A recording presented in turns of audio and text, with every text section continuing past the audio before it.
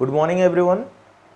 I am representing Banning here and representing something which is very useful at the time of we are going for any competitive exams.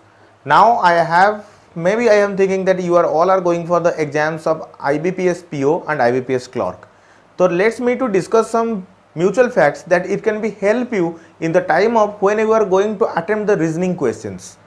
Let's I am getting a topic that's called syllogism. So so, सबको useful होने के लिए मैं यहाँ पर हिंदी का language choose कर रहा हूँ आपको समझाने के लिए। तो अब कुछ ही दिन में हो गए कि वो सिलोक्स के एक क्वेश्चन आ रहा है ओनली ए फ्यू का कॉन्सेप्ट तो जब ओनली ए फ्यू का कॉन्सेप्ट आ रहा है तो सबको ये लग रहा है कि चीज़ है क्या? कोई कोई इसको अच्छे से समझ लिए हैं और किनके मन में इससे कोई डाउट है कि अगर वो स्टेटमेंट में आ जाए तो इसका भेन डायग्राम कैसे बनाया जाए? अगर ये चीज़ अपनी कंक्लूजन में आ जाए तो इसका भेन डायग्राम कैसे बनाया जाए? तो पहले हम ये जो है ओनली ए फ्यू को समझने के लिए हमें पहले ये समझना होगा समनॉट की केस और समनॉट की केस होता क्या है?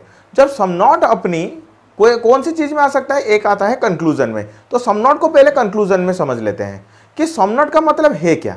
ये जो समनॉट है ना, ये हमें ये डिफाइन करता रहता है कि हमें यहाँ पर ऑल की पॉसिबिलिटी नहीं मिल सकती।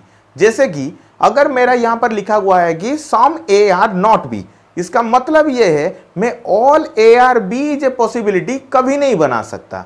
जो कि आपको दिख रहा होगा कि मैं कभी भी ऑल ए आर बी नहीं बना सकता। और हमारा जो वो क्वेश्चन आ रहा है ओनली ए फ्यू ये अगर ए फ्यू को इससे हम अलग कर दे, अगर क्वेश्चन आ गया a few A are B तो ये समझ आ जाता है कि ये है सॉम ए आर बी लेकिन जब इसके पहले ओनली का वर्ड लग जाता है तो ये क्या कंस्ट्रक्ट हो जाता है? Only a few A are B तो ये हमें बताने लगता है कि सम ए आर बी लेकिन ये ओनली का वर्ड यहाँ पर लग के हमें बताना लगता है only some A are B इसका मतलब हमें यह समझना चाहिए कि शायद कुछ ही पार्ट ए के हैं जो बी के अंदर आते हैं। यानी कि हर एक पार्ट ए का कभी भी बी के अंदर नहीं आ सकता। इसीलिए जब भी हमें ओनली ए फ्यू का अगर कंक्लूजन निकालना हो तो पहले हमें यह चीज़ बताना होगा कि वहाँ पर सॉम का भी सिचुएशन आना चाहिए और सम नॉट का भी सिचुएशन आना चाहिए। तो हम कैसे बताएँगे कौन सी चीज़ हमारे ओनली ए फ्यू के कॉन्सेप्ट में आगे जाएगा? अगर कंक्लूजन में कभी ओनली ए फ्यू का कॉन्सेप्ट आ गया तो हमें क्या करना चाहिए? पहले देखिए यहाँ पर सॉम है या नहीं है। अगर सॉम वहाँ पर है ही नहीं तो सम नॉट को चेक करने की ज़रूरत भी नहीं। तो हमें डायरेक्ट क्या मिल जाएगा कि वहाँ पर ओनली ए फ्यू गलत। अगर हमें फिर से कहीं पर सॉम का सिचुएशन सही मिला, कि हाँ ये डायग्राम पे हमें सॉम का सिचुएशन सही मिल रहा है, तभी ना हमें ये चीज़ देखना है कि ऑब सम नॉट का कंडीशन आ रहा है या फिर नहीं। अच्छा सॉम नॉट का कंडीशन आता कैसे है? तो ये जो सम नॉट है ना, अगर कंक्लूजन में हम सॉम नॉट को देखने जाए तो सम नॉट के लिए हमें चाहिए ऑल की फिजिबिलिटी पॉसिबिलिटी नहीं फिजिबिलिटी और ये फिजिबिलिटी हमारा क्या मायने रखता है?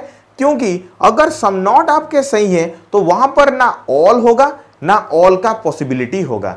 इसका मतलब हम यह बताना चाह रहे हैं कि अगर मेरा conclusion some A are not B सही है, इसका मतलब some all A are B का कंडीशन डेफिनेटली फॉल्स है। यानी कि ऑल ए आर बी भी फॉल्स है all A are B is a possibility भी फॉल्स है। इसका मतलब हमें क्या पता चला कि अगर सम नॉट को हमें सही बनाना है तो हमारे पास ऑल की फिजिबिलिटी नहीं रहना चाहिए। ना ऑल ए आर बी रहना चाहिए, ना ही all A are B is a possibility रहना चाहिए।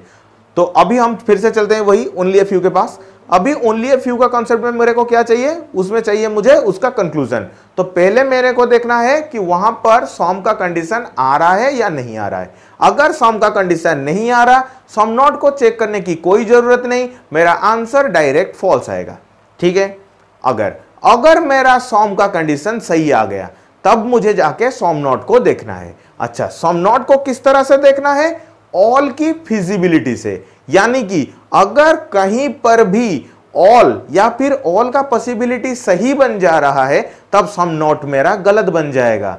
मुझे सम नॉट को सही बनाने के लिए ऑल भी गलत बनना चाहिए और ऑल का पॉसिबिलिटी भी गलत बनना चाहिए। तो यहाँ पर क्या चाहिए मेरे को? सम नॉट को सेटिस्फाई करना चाहिए। तो मेरे को अभी सम नॉट को देखना है। अभी आपको पता चला कि सम नॉट की कंडीशन में मेरे को वो जो कंडीशन है, अगर ऑल यहाँ पर सही है और ऑल का पॉसिबिलिटी गलत है तो सम नॉट गलत हो गया। अगर मेरा ऑल गलत है ऑल का पॉसिबिलिटी सही है तो फिर से भी सम नॉट गलत हो गया। अगर ऑल भी गलत है और ऑल का पॉसिबिलिटी भी गलत है, तब जाके मेरा सम नॉट सही बनेगा। अगर कहीं पर भी कंक्लूजन में सम सही बन गया सम नॉट सही बन गया, उस हिसाब से हमें यह कंक्लूड करना पड़ता है कि ओनली ए फ्यू का कंडीशन भी वहाँ पर सही बन जाता है। समझ रहे हैं आप? तो ओनली ए फ्यू अगर कभी हमें कंक्लूजन में आने लगा तो हमें क्या करना चाहिए? पहले सम को देखना चाहिए कि सम का कंडीशन सही है या फिर गलत। अगर सही है देन मुझे सम नॉट चेक करना चाहिए। अगर गलत है, मुझे सम नॉट को कोई ज़रूरत नहीं। Answer direct only a few का क्या आ जाएगा? गलत। अगर मुझे यहाँ पर पता चला कि नहीं, मेरा सम सही है, तब मेरे को सम नॉट को देखना है। अगर सम नॉट सही बनता है तो मेरा ओनली ए फ्यू भी सही बनेगा। अगर मेरा सम नॉट गलत बनता है तो ओनली ए फ्यू भी गलत बनेगा। तो ये रहा मेरा सम नॉट का कंक्लूजन का प्रोसीजर अच्छा तो कभी कभी ये चीज़ भी हमारा कहाँ पर आ जाता है? जब हमें स्टेटमेंट रिप्रेजेंट होता है, तभी सम नॉट का कंडीशन आ जाता है। या फिर ये ओनली ए फ्यू का कंडीशन भी आ जाता है। जैसे कि स्टेटमेंट में लिखा रहता है only a few A are B तो अगर स्टेटमेंट में लिखा रहा तो मुझे क्या करना होगा? उसका भेन डायग्राम ड्रॉ करना होगा।